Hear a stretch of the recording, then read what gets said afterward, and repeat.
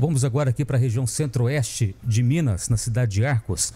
Um homem de 34 anos interditou a BR-354 no município de Arcos depois de um surto. O caminhão que ele dirigia ficou atravessado na pista. Confira a reportagem da TV Alterosa. De acordo com a Polícia Militar Rodoviária, o motorista desta carreta, de 34 anos, estava no pátio de um poço de combustíveis quando começou a ficar confuso. Disse para algumas pessoas que estava sendo perseguido e sofrendo ameaça de morte. Na sequência, arrancou o veículo em direção à rodovia.